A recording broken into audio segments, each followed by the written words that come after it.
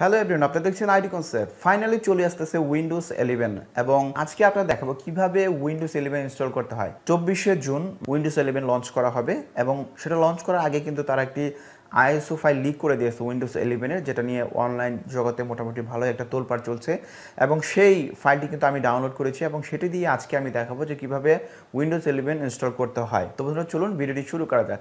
তো আমি আছি আপনারা দেখছেন আইটি কনসেপ্ট তো চ্যানেলটি এখনই সাবস্ক্রাইব করে ফেলুন।